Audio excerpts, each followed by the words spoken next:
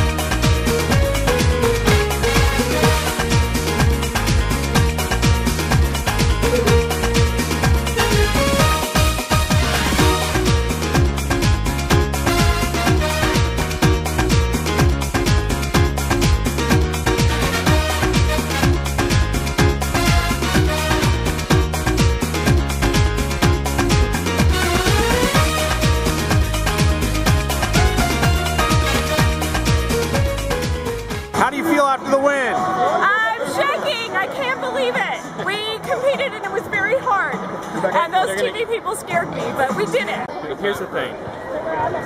She really dropped the ball. I really did. That that is not a lie. I dropped the ball. I did not finish the hula hoop challenge. Did you? I did. I did about four. what? Yeah, over and over again. I did four, and then I finally gave up. First of all, it feels great to be a champion. Are they giving you a, a story about how you know they were meant to win and something just And happened and it wasn't in the stars? And wow, it's actually very close competition. These guys are great competitors. We had a lot of fun, and thank God it's over. Let's go home.